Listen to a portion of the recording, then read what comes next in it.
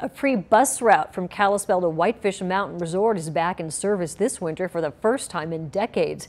Eagle Transit Mountain Climber is offering free rides up the mountain every Saturday during ski season, picking up riders at the Kalispell Walmart.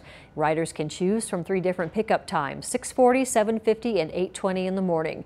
Rides back down from the mountain's base will begin at 335 with the last drop off at 6. Eagle Transit Mountain Climber spokeswoman Elizabeth Wood says each bus has the capacity to take 25 riders up the mountain on a first-come, first-served basis. Wood says Mountain Climber partnered with the Big Mountain Commercial Association to make the bus rides free for everyone.